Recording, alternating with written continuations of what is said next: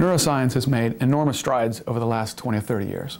One of the things we've learned is how we organize our perception of our bodies. How we know if someone touches my cheek or someone touches my toe is because there's actually a map inside our brain. That map is organized just like you might think. Regions that are nearby each other on the body are nearby each other in the brain. So when someone touches a part of my body, I know where it is because neurons inside my head are activated in a particular location. If I have a condition like a slip disc or an amputation, that map can become greatly distorted. It can be expanded because when we have pain, we pay attention. When we pay attention, the brain actually changes its organization.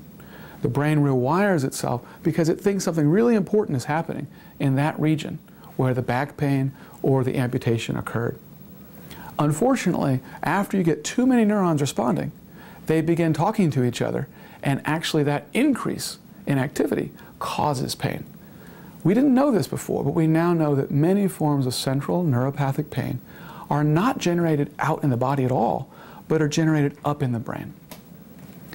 That sounds bad. How are you going to fix the problem if it's in the brain? But we've learned a new method to be able to reorganize the brain and put it back the way it was before. And we have evidence that it might actually be able to eliminate the pain. The idea is to use the same method that got you into this problem to get you back out.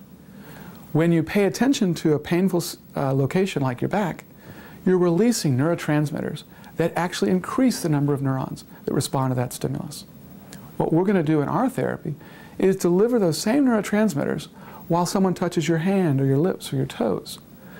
We're going to avoid the area that's painful, and by telling the brain every other area is important, but not this area that hurts, we're going to shrink that area down and in our early studies, it looks like we can actually eliminate the pain.